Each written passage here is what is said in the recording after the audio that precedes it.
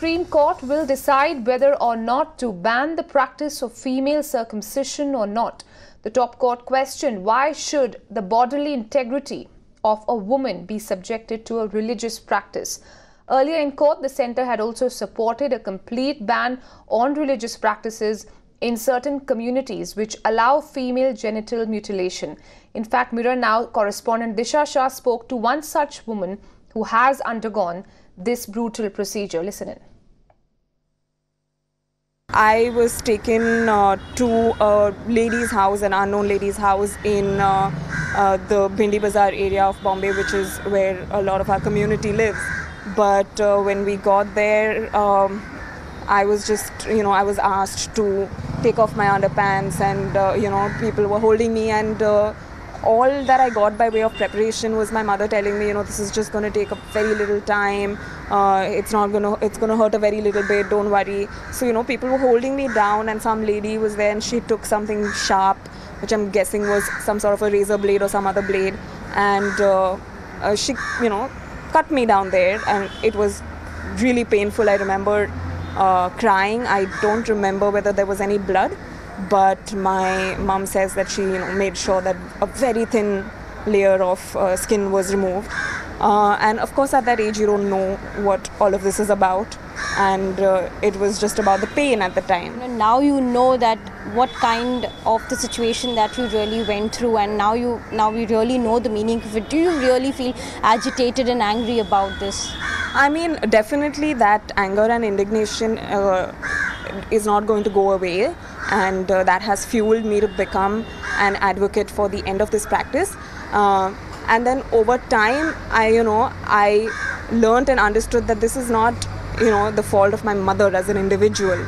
Uh, this is something that everyone in the community is doing. It's part of uh, you know a certain uh, culture. It's part of something that people have been you know through tradition they've just been uh, you know wired into doing because it's just that's how social norms work. And at the end of the day just like menstrual taboos or you know so many other regressive social norms this is a regressive social norm. Uh, you have gone through this uh, and you i'm sure that you don't want anyone to go through this. So what is your appeal at this point? Um, uh, so my appeal is more to the community because uh, you know Sahiyo believes that it's the community uh, that uh, that needs to collectively understand that for the well-being of all the girls, it's just uh, necessary that this practice ends because uh, it's been going on for far too long. For too long, women have been unable to talk about how this has affected them, and now people are speaking out.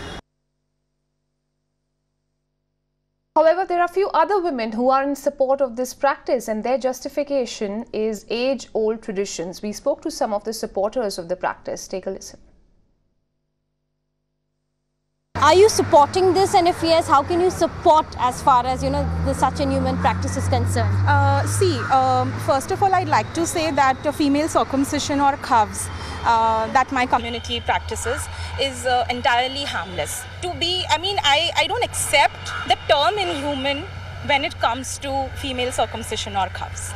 It is, it is one of our religious tenets and uh, part, it, it is a part of the upbringing of a child. Like say, parents. हर चीज़ में अपने बच्चों के लिए अच्छा करते हैं। Why would they be inhuman to that children I would not say it's inhuman और it should be banned because ban उस चीज़ को किया जाता है which is extremely harmful and you know किसी से उस, जिसका, जिससे उस, किसी का बहुत नुकसान होता है। But I being a personal uh, you know part of following a certain religion or just you know it's a we follow it. और जो हमारा रिलीजन है it will not you know ऐसी चीज़ को प्रमोट ही नहीं करेगा जो इन इनह्यूमन है और जो किसी बच्ची पे बहुत ही हार्म करेगा वो चीज़. And we are such a progressive community educated women we believe in educating our daughters and you know sending sending to the world you know, in, in par with men. So why would we harm our daughters? I don't think that's right and uh, ban is absolutely not acceptable. So this is a 14th century custom and the matter would be heard uh, in the Supreme Court on the 16th of July is what we're given to understand. But to understand the magnitude of, uh, of this issue, Disha Shah is now joining us. Uh, Disha, first of all, take us through the magnitude of this issue and to what extent is it, is it still existent in our society?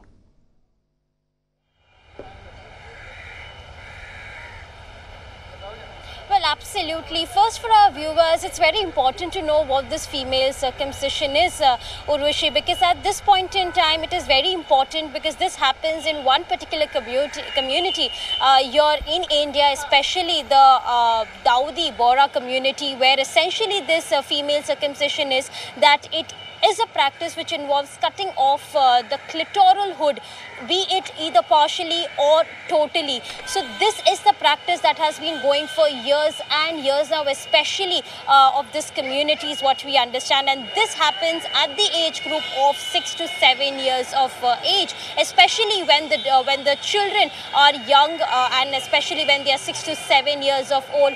At that point in time, we did hear uh, the two the survivor talking to us about how the experience was. Nobody questioned because this is what has been going for years and years now. And this is what is the argument right now, which is going on in the Supreme Court as well, Urvashi. Yes. So here, of course, uh, cutting off uh, a private, basically a part of the private part is something which is not acceptable, which should be banned, and this is what the entire petition is all about uh, in the Supreme Court as well. And here we know for the fact uh, that the in the in this particular community they also term is at khafz, uh, which is also known as female circumcision. So mm -hmm. according we did uh, see we spoke to both the sides. We of course spoke to the supporters as well who say that it has been happening. It is part of their religion. Yes. It is part of their tradition and mainly why they do is because it is to curb sexual desires in a woman and that is the reason they do this at a very mm -hmm. early age and uh, they that's the reason they do it for cleanliness for spiritual relig uh, religious beliefs all of this is the justification that the supporters of this community are giving but at the on the other hand, we are seeing that in most of the places, people are have now come out and have started talking openly about it. They want this practice to be banned. In India, it is not banned yet, and that is what the petition is all about. Last year, it was filed in the Supreme Court.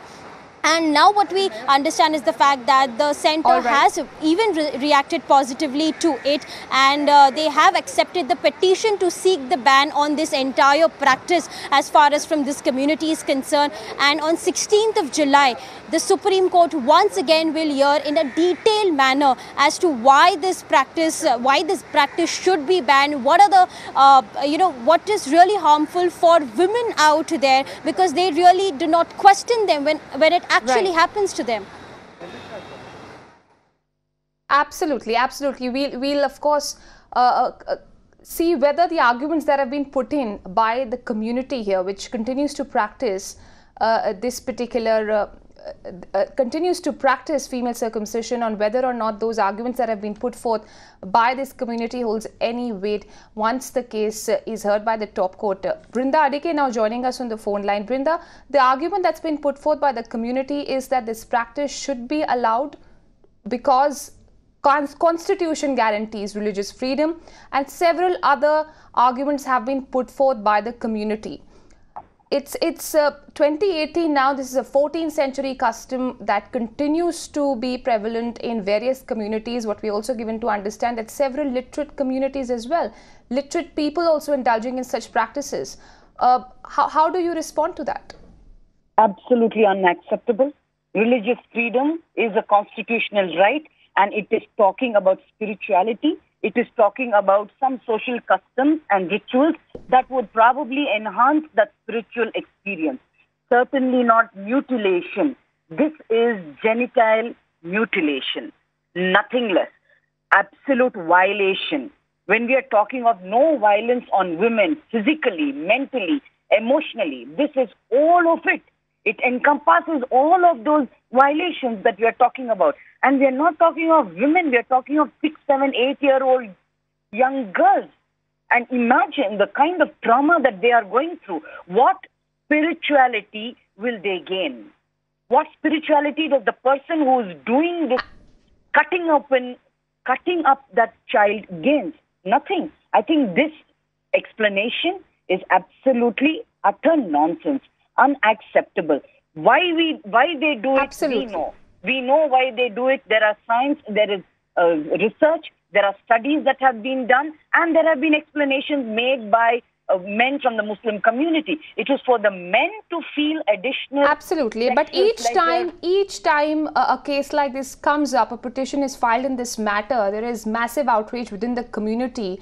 They have several arguments that they put forth, but just, just uh, one would like to understand the kind of, uh, you know, unity this community has and the kind of united opposition it comes up with each time a case objects to this practice, uh, because so far nothing has been done to address this issue and that goes to show the kind of opposition that's come in each time around the practice is questioned.